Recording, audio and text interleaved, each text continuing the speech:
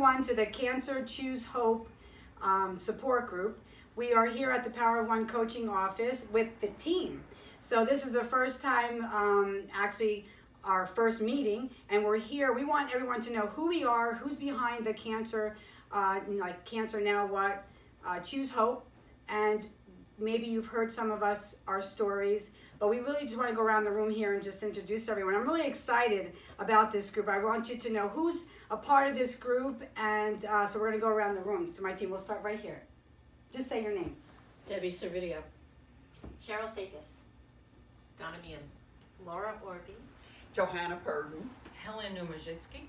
And we and Kim Castellano. So we are here um, at the coaching office on Van Houten Ave, and we are going to be doing this support group once a month.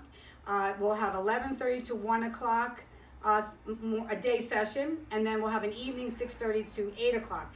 And March 20th will be our next support group. Uh, that's when we're scheduled. It's a Wednesday uh, day and evening. But I just wanted to let everyone know, like, why is Kim Castellano doing this?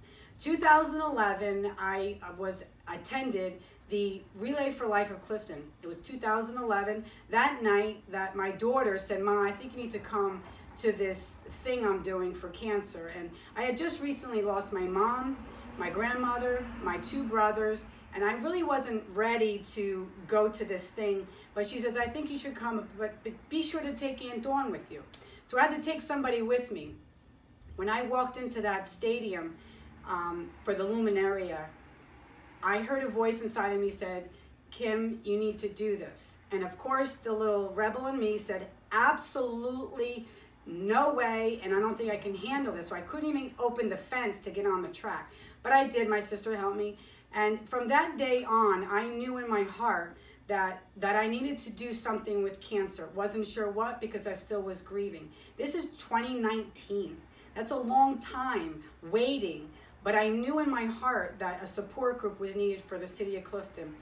At Relay for Life, I've been a part of them since 2011. I've done them making strides against cancer in Ridgefield Park, raised $675,000 with a team of 14 people. Um, I knew the day was coming, but this past year, I truly believe God sent each and every one of you because this these women are very powerful. They have stories. They've been affected by cancer. They've been caregivers. They've actually helping people. So I believe that God has sent all of us together for such a time as this to have this support group for the city of Clifton. Listen, it's open to everybody, um, not just Clifton residents, if local community. Um, here is where you're going to find hope. Um, that hope is found in community. When we become hopeless, when we're in isolation. So we want this group here to be something for everyone who is going to find hope in their fight and strength. And you'll be hearing more and more from each one of us why we're doing what we're doing. But I just want to just say March 20th, uh, come to the coaching office. If you need help getting here, please let me know. This is for everyone, men and women. So thank you so much, and I look forward to everything that we're going to do as a community.